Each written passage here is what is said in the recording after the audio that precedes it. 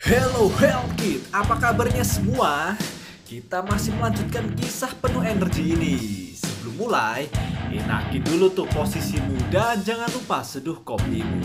Are you ready? Selamat menonton Kamen Teacher Special.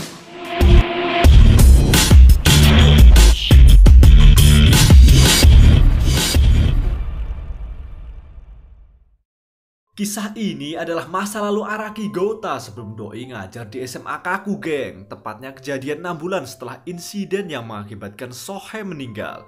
Sudah pada paham ya sama alur waktu penempatan ceritanya Oke, let's go. Cerita berlatar di SMA Sains Fiksional. Sore itu, KBM udah berakhir nih, geng. Para siswa pun bergegas pulang ke rumah. Tapi kegembiraan para murid ini sirna oleh sebuah insiden jatuhnya seorang siswi dari atap gedung sekolah. Dan inilah Kamen Teacher Special. Satu bulan telah berlalu setelah tragedi jatuhnya salah satu siswi SMA fiksional dari atap gedung sekolah. Araki Gota mendapatkan tugas dari Ikura untuk mengajar di sekolah tersebut sebagai guru bantu nih. Sedangkan paginya di balai kota, seorang asisten wali kota bernama Urabe mengabari wali kota jika pesanannya sudah dikonfirmasi, yaitu seorang kamen teacher untuk bertugas di SMA Sains Fiksional. Dan wali kota ini bernama Gato Koichi. Masih pagi itu, sampailah Gota di SMA Sains Fiksional. Dia pun diperkenalkan oleh kepala sekolah pada staf guru lainnya. Mulai hari ini, Gota akan ngajar mapel sosial buat gantiin Miyamai Sensei yang lagi cuti. Di sana, Gota akan berperan sebagai asistennya Maya Sensei sebagai wali kelas 3D. Sementara di atap gedung sekolah, tiga jawara sekolah tengah asik menghajar murid lainnya dan setiap murid yang habis diajar namanya akan dicoret dari daftar yang dicurigai. Kira-kira mereka sedang absen buat apa ya, geng? Dan pelajaran hari itu pun dimulai. Gota memperkenalkan diri pada murid kelas 3D sebagai asistennya Maya Sensei. Dengan penuh semangat, Gota langsung nyebar angket biodata untuk diisi para muridnya. Tapi tindakan Gota dicegah oleh Maya Sensei. Di situlah Gota diingatkan kalau sekolah ini punya aturan yang melarang guru dan murid kontak fisik. Ada batasan antara mereka yaitu sebuah garis pemisah di kelas.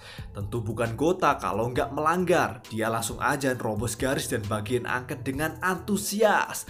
Lagi asik nyebar angket, datanglah tiga jawara sekolah terlambat masuk kelas. Tanpa pikir panjang, Gota so asik aja kasih angket pada mereka.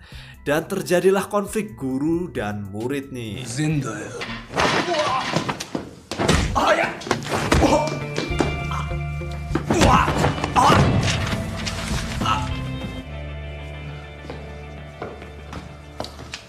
Setelah dapat bogem mentah dari muridnya ini, Gota coba kompres lukanya. Dia pun kembali diingatkan oleh Maya Sensei agar selalu jaga jarak sama murid karena tugas guru di SMA fiksional hanya sekedar kasih mapel doang. Merasa ada yang janggal dengan aturan SMA fiksional, Gota lantas menghadap kepala sekolah. Dia pun dikasih tahu sama kepala sekolah kalau aturan tersebut adalah pemenang dari wali kota Gato langsung. Alasannya ya karena dua tahun lalu sekolah ini bener-bener kacau balau. Hingga akhirnya seorang kamen teacher merah ditugaskan untuk membenahinya.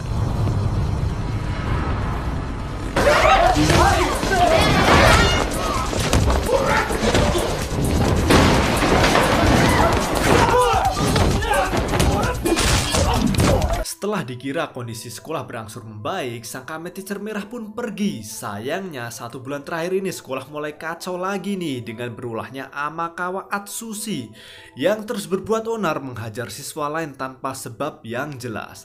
Itulah alasannya mengapa pihak sekolah kembali memesan jasa kamen teacher untuk membenahinya. Aye. Lanjut di tengah kota, wali kota Gato sedang berkampanye politik agar dirinya terpilih kembali sebagai wali kota di pemilu berikutnya. Visi misi wali kota Gato belum banyak berubah yaitu membenahi sistem sekolah dengan menggunakan reformasi pendidikan. Alhasil pendukungnya pun antusias untuk mengusungnya lagi. Di sisi lain, Maya Sensei yang melihat kampanye politik ini disapa oleh Urabe, asistennya wali kota. Ternyata Maya Sensei ini adalah putri dari sang wali kota, geng. Ketika Maya Sensei hendak pergi, dia pun curiga melihat tiga berandalan menyapa Urabe hari itu. sebab salah satu berandalan ini adalah mantan muridnya. Kembali di sekolah, jam sekolah udah selesai Gota lagi-lagi so akrab pamitan pada muridnya. Tapi langkahnya pas pulang terhenti sebab seorang siswa menguntitnya geng. Siswa ini bernama Igawa Kosuke kelas 3D. Dia senang bukan main karena Gota udah mau nyapa dia dan juga tahu nama lengkapnya. Gak berselang terjadilah masalah lagi. Amakawa Chess kembali berulah menghajar siswa lain. Dan dengan aksi cepat tanggap, Gota segera menuju TKP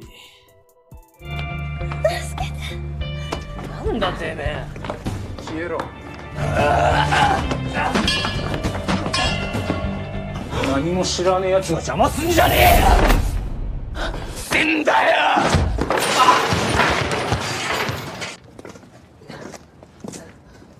Malamnya, Gota menemui Ikura buat diskusi. Dia bingung aja, kok ada sih sekolah yang melarang gurunya komunikasi sama muridnya ya?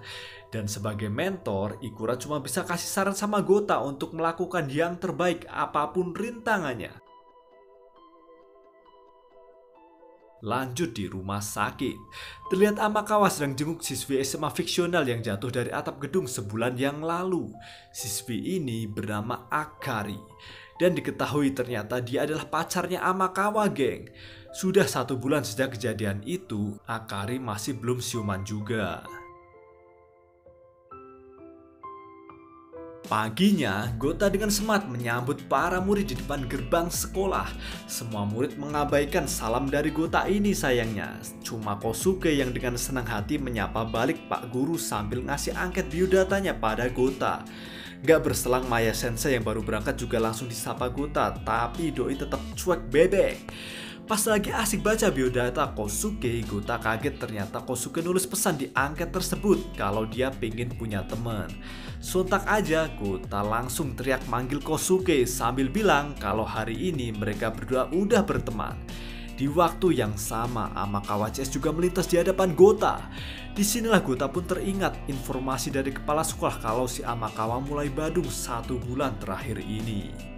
Tanpa pikir panjang, Gota pun cari informasi tentang Amakawa ke Maya Sensei. Tapi dengan sikap dinginnya itu, Maya Sensei mengabaikan upaya Gota tersebut. Tentu Gota nggak kehabisan ide, dia pun nyamperin Kosuke untuk cari informasi tentang Amakawa.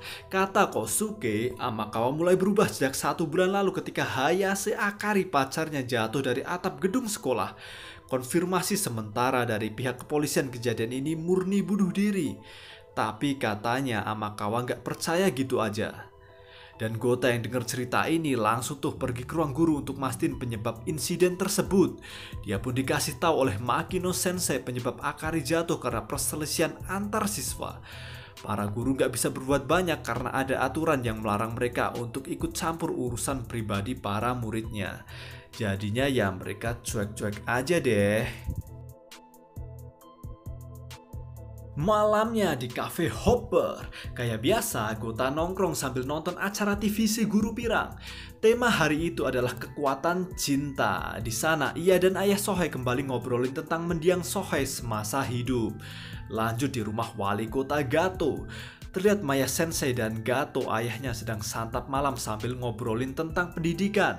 Namun ketika Maya Sensei ditanya ayahnya kenapa masih betah ngajar, Maya pun tersinggung dan cabut ke kamar. Di kamar sambil nyelesain tugas kantor, Maya pun keinget mendiang ibunya yang udah meninggal. Esok harinya, Guta minta tolong sama Maya Sensei untuk diantar ke rumah sakit tempat Akari dirawat. Terlihat Akari yang tengah dijenguk Amakawa akhirnya siuman nih. Di situlah Amakawa langsung nanya ke Akari siapa pelaku yang telah membuatnya jatuh dari atap gedung.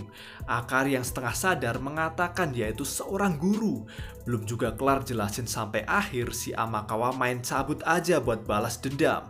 Gota dan Mai Sensei yang baru sampai di sana dibuat bingung oleh tingkah Amakawa yang pergi kayak dikejar setan. Sampainya di sekolah sambil emosi, Amakawa Chess langsung menyerang para staf guru. Mereka pun mengumpulkan para guru di atap gedung untuk dieksekusi. Jika dari mereka nggak ada yang ngaku sebagai pelaku penyerang Akari, maka semua guru akan dijatuhin dari atap gedung satu per satu.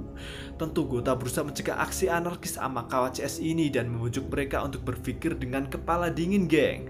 Begitu juga Akari dan Maya Sensei yang juga datang ikut membujuknya. Sebagai perwakilan staf guru, Gota pun minta maaf pada Amakawa jika memang para guru ada salah, mohon dimaafkan ya. Namun Amakawa yang emosi malah menghajar Gota habis-habisan.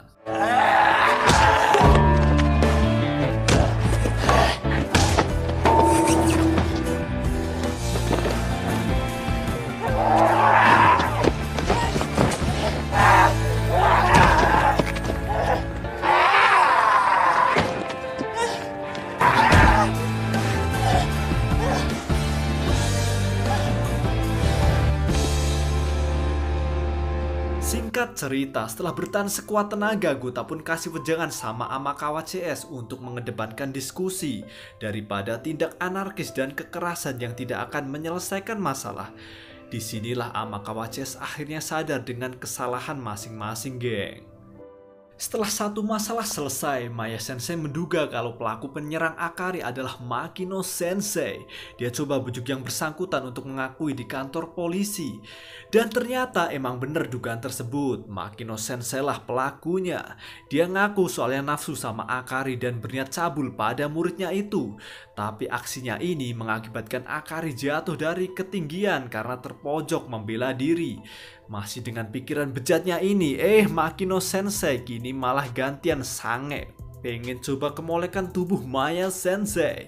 Untunglah Gota datang dan menggertak Makino Sensei dengan tinjunya yang mampu melubangi tembok. Saking takutnya, Makino pun mengakui dialah pelakunya. Malamnya, Ikura dapat telepon dari wali kota Gato yang ikut senang atas pencapaian Gota membongkar kasus besar di SMA fiksional hari itu. Namun sang wali kota masih sedikit kecewa sebab Gota sebagai Kamen Teacher tidak beraksi menggunakan kekuatannya. Esoknya, akhirnya Amakawa CS toba dan meminta maaf pada semua staf guru SMA fiksional atas ulah mereka. Melihat kejadian langka ini, Gota pun ikut bangga dengan jiwa kesatria para muridnya tersebut. Dan hari itu, Amakawa CS, Akari, Gota, serta Kosuke jadi teman akrab nih ceritanya. Mereka pun bahas tentang kehebatan Gota yang mampu bertahan dari tinjunya Amakawa kemarin. Hal ini mengingatkan para murid pada sosok Kamen Teacher Merah 2 tahun lalu yang bertugas di SMA fiksional. Tentu Amakawa Chess masih merasa trauma pada Kamen Teacher Merah yang pernah mengajar mereka. Semua bermula karena perselisihan antara Amakawa dan Sonoda Suji si jawara SMA fiksional. Bahkan, Sonoda yang kala itu sudah duduk di kelas 3 dan hampir menempuh ujian kelulusan harus rela dikeluarkan dari sekolah karena kasus ini geng. Dan dengar-dengar nasib si Sonoda kini makin suram. Dia jadi berandalan yang bekerja di bawah seorang politisi.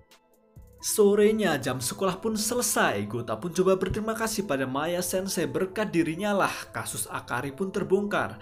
Tapi lagi-lagi Maya Sensei tetap cuek dan pergi. Di situlah Akari lantas nyapa Gota dan kasih tahu kalau Maya Sensei sebenarnya orang baik. Dialah yang selalu mengiriminya bunga waktu koma di rumah sakit kesaksian dari seorang pemilik toko bunga terdekat. Akari pun cerita kalau Maya Sensei adalah putri dari wali kota Gato. Maya Sensei bersikap dingin seperti itu karena masa lalunya dulu. Tepat enam tahun yang lalu ketika wali kota Gato belum terjun ke politik dan masih aktif jadi guru. Sebuah insiden berdarah terjadi. Suatu pagi ketika Gato Sensei hendak pergi mengajar dan pamitan pada Machiko istrinya, hampir saja Gato Sensei dibunuh oleh salah satu murid yang tidak suka padanya. Tapi aksi ini dihalangi oleh sang istri yang apesnya malah jadi korban pembunuhan tersebut. Tentu Gato dan Maya Sensei melihat kejadian ini sejak saat itu berubah drastis. Maya Sensei jadi sosok dingin dan Gato Sensei memutuskan pensiun dan terjun ke dunia politik untuk membenahi sistem pendidikan. Itulah sepenggal kisah pilu keluarga Maya Sensei. Esoknya, gak disangka Sonoda CS datang ke sekolah tuh buat balas dendam sama Amakawa. Karena Amakawa gak nongol juga, terpaksa deh mereka nyulik Akari buat disandra geng. Kosuke yang lihat kejadian ini coba menghalangi tapi gagal. Mendengar kegaduhan di sekolah tentu Gota, Maya Sensei dan Amakawa CS nyamperin TKP. Mereka pun dikasih tahu oleh Kosuke kalau barusan Akari disandra dan pelakunya adalah Sonoda. Tanpa pikir panjang Gota pun pergi buat transfer transformasi jadi Kamen Teacher. Setibanya di gudang sekolah tempat Akari disandra, Amakawa coba bujuk Sonoda agar tidak bertindak nekat. Namun Sonoda yang emosi langsung menghajar habis Amakawa. Kata Sonoda, ia kesal akibat perselisihannya dengan Amakawa dua tahun lalu membuatnya dikeluarkan dari sekolah. Dan kini masa depannya suram karena harus kerja jadi kang pukul. Di saat Amakawa hampir diajar habis, di situlah datang Kamen Teacher. Salam olahraga cow 自分自身エスコートできない危険したDemi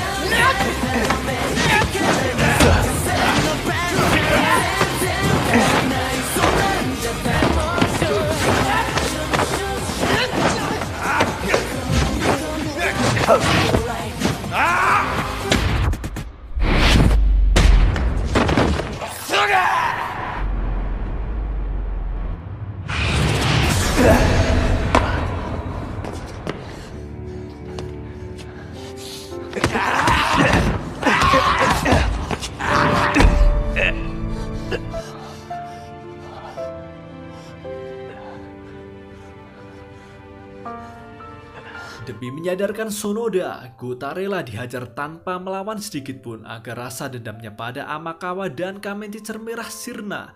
Sonoda pun ngaku karena Amakawa lah ia dikeluarkan dari sekolah. Tapi di sini teman-teman Amakawa jelasin kalau hal itu keliru. Justru Amakawa rela sujud di depan kepala sekolah hanya demi agar Sonoda tidak didepak dari sekolah. Sebab menurut Amakawa perselisihannya dengan Sonoda bukan murni kesalahan kakak kelasnya itu.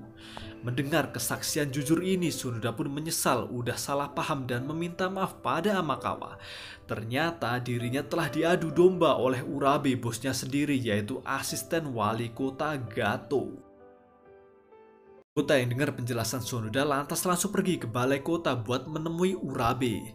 Setibanya di sana, Urabe jelasin kalau dia terpaksa mengadu domba Sonoda dan Amakawa agar sampah masyarakat seperti mereka segera hilang. Dan kampanye reformasi pendidikan yang dikeborkan wali kota Gato dapat berjalan sukses tanpa ada murid Badung lagi di SMA fiksional sebagai sekolah percontohan sistem pendidikan yang baru. Habis ngebacot, terbitlah salam olahraga.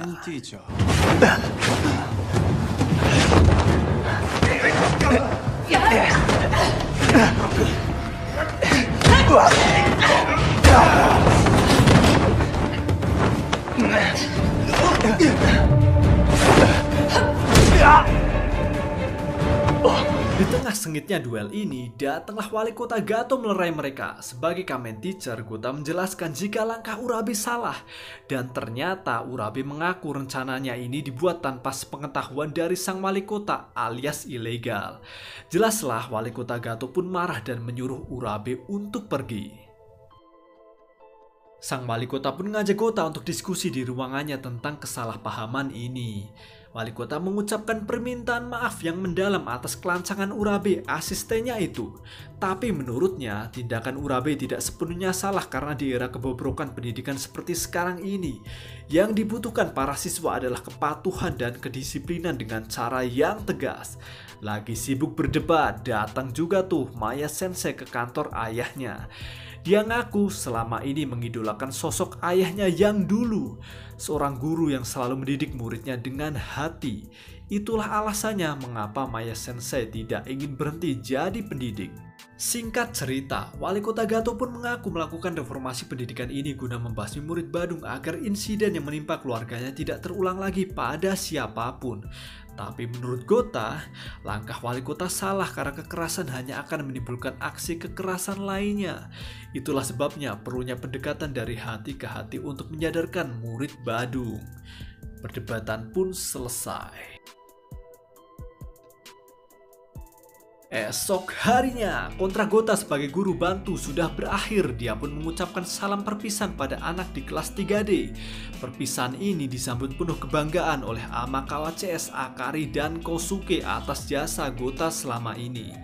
Pada akhirnya, Maya Sensei pun ikut kagum pada Gota. Dia pun memutuskan untuk merubah sifat dinginnya itu sebagai pendidik guna memulai lembaran baru.